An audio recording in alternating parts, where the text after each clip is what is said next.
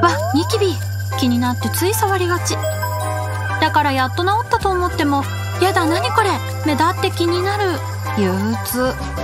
そうなる前にアットのニキビアートケアジェル。ニキビが治ったら洗顔後にこの薬用ジェルを塗るだけでメラニンの生成を抑えて目立って気になるニキビの後のシミを防ぎます。さらっとしたジェルだからメイクの前にも使いやすい。